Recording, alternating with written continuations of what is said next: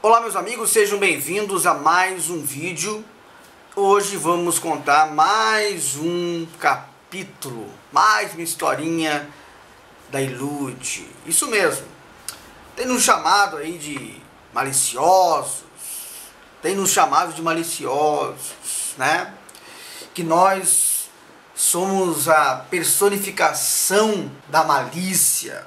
Pois bem, eu quero mostrar algo para vocês e você vai me dizer o porquê, o porquê nós fazemos isso. É para libertar você obreiro, você membro, você evangelista, você que está dentro do sistema religioso e não sabe ou não consegue enxergar o que eles estão fazendo com a sua fé e com a sua vida. Tá bom? Para você que não me conhece, eu sou Marcelo Roque e esse é o canal Tudo pela Verdade. Eu já peço a você que se inscreva no canal, se você não é inscrito no canal, já clique ali no botãozinho de se inscrever. Se você não ativou as notificações, ative as notificações para sempre que nós estivermos postando um vídeo aqui, você venha receber a notificação. Inclusive eu tenho, é, tenho inscritos que de vez em quando escrevem não tenho recebido a sua notificação. Então vai lá de novo, clica lá na, na, na no, no, no, sininho, deixa ele é, tirar a seleção e depois seleciona de novo. Tá bom? Que de vez em quando o YouTube dá uma bugada. Eu recebi uma mensagem e eu vou ler essa mensagem para vocês que ah, foi mandado por um pastor da Ilude, aonde o seu bispo está cobrando ele por isso por isso, tá bom? Eu peço a vocês que, se puderem, dê uma paradinha e leia, tá bom? Dê uma paradinha e leia aqui, mas eu vou ler para vocês, não tem problema, tá bom? Aí você vai dizer quem é o malicioso. Quem é o malicioso? Se é o, o, o bispo que vem colocando coisas contra nós, ou se somos nós que queremos ajudar essas pessoas que estão sendo escravas, sendo escravas desses homens, desses cães gulosos, desses safados, desses homens mercenários, tá? Mercenários que usam as escrituras para o benefício próprio. Aqui diz assim: Aí, pessoal, que Deus tenha misericórdia dos pastores mesmo. Depois fala que não é dinheiro. Depois fala que não é dinheiro, isso é um pastor falando. O bispo Cavina, novo que chegou aqui no Paraná, olha o que ele pediu para preencher com urgência. E se disser que é mentira, temos o link no e-mail se pelo menos ele tivesse crescido aonde ele passou. Quando fala crescer, tá aqui, ó. Já chegou dizendo na primeira reunião e falando em dobro. Então se, preparem, pastor aí, o pastor da Ilude, tá? Pastor da Ilude, se preparem que agora o crescimento vai ter que ser em dobro. A cegueira anta foi um péssimo resultado, inclusive. Quero ver se no próximo vídeo eu trago ah, algumas coisas pontuais aqui de Santa Catarina, tá? Pontual, porque o que eu estou sabendo é que no, aqui no estado de Santa Catarina quase que caiu pela metade, eu acho menos da metade do que 2018. 2019 caiu, foi uma vergonha Aqui em Criciúma é uma vergonha, foi uma vergonha, tá? Eu sei que são milhões ainda que são arrecadados, são milhões. Mas as denúncias têm chegado aos ouvidos das pessoas e elas têm dado crédito. Elas têm analisado e têm visto que o que nós estamos contando, falando, é real, é verdadeiro. O nosso intuito aqui não é derrubar uma instituição, derrubar A, B ou C. Não. É falar que o sistema religioso ele corrompe. O sistema religioso, ele usa as pessoas, ele usa você. Inclusive você, pastor, muito mais é usado, né? Isso que o bispo Capacho deve, olha só, isso que o bispo Capacho deveria ver o que eles fazem com os pastores, na verdade somos máquina de dinheiro.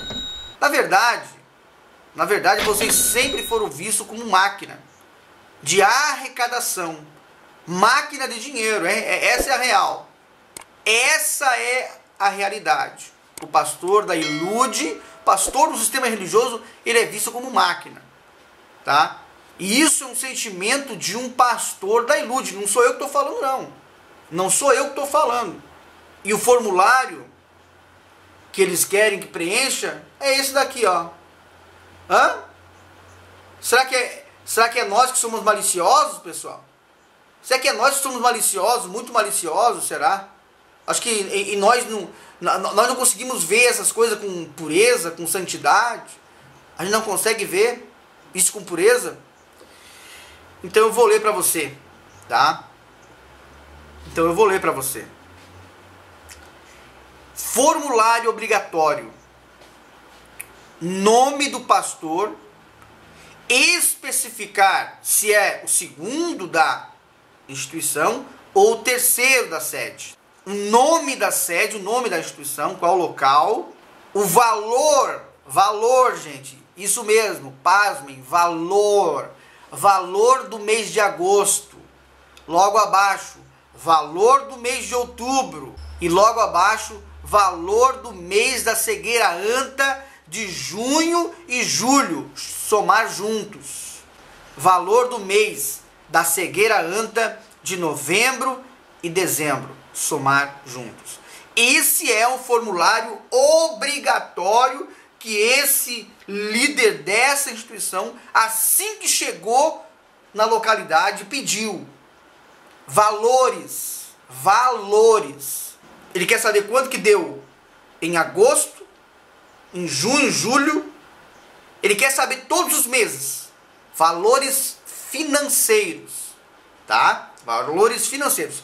Depois eles fazem videozinho para mostrar para os obreiros, para os membros, que nós somos maliciosos, que nós é, estamos fazendo igual o diabo, igual o Satanás quando falou com Adão e Eva. é! Será que nós somos maliciosos? É só você analisar. Analise o que nós falamos e analise o que eles falam. Nós não pedimos para você, ah, não veja os vídeos deles. Não. Veja, analise, observe o desespero desses homens. Homens corruptos, homens que só pensam em lucrar com as escrituras sagradas. É só o que eles pensam.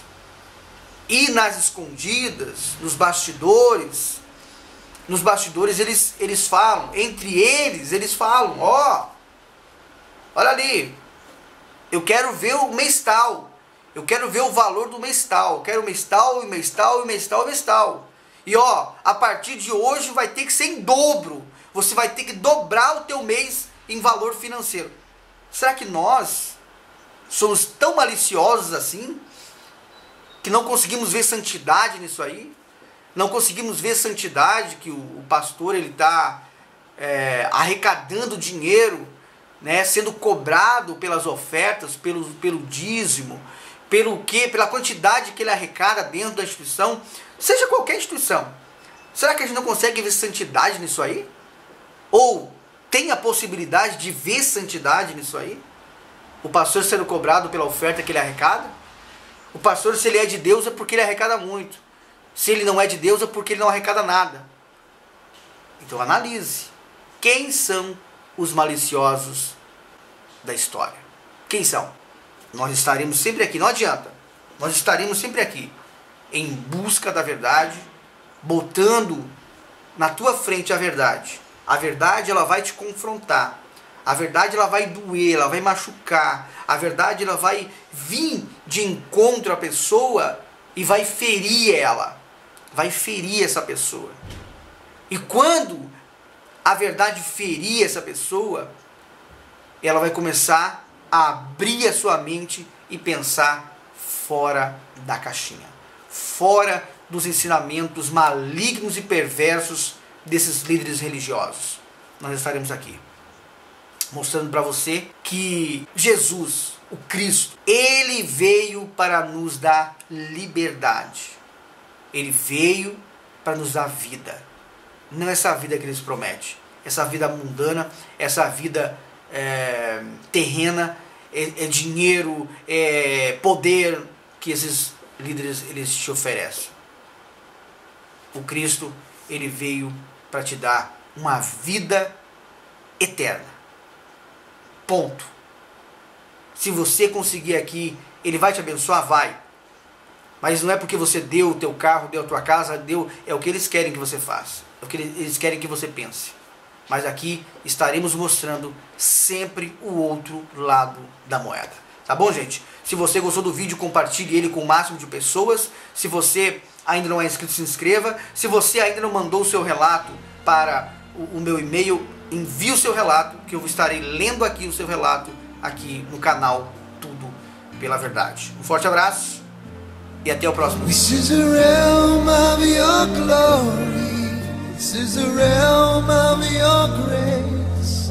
I can feel your mighty power. It is moving in this place.